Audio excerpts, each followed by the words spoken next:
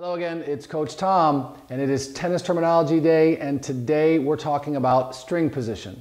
So string position, you guys, it's really, it's basically where your strings set up in relation to the ball, right? So if I'm hitting this way, that is a square, straight up and down square string position. That would be open, and that would be closed. Again, we're hitting this way, okay? So your string position, it's just how you position your strings vertically, horizontally, whatever, compared to the ball. Okay, that's it. That's all you guys need to know. See you next time.